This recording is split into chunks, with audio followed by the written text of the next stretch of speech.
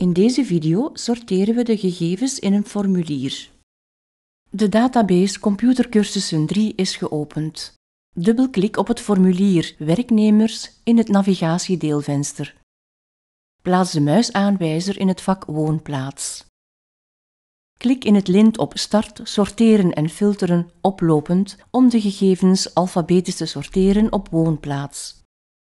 Blader met de navigatieknoppen door de records en controleer het resultaat.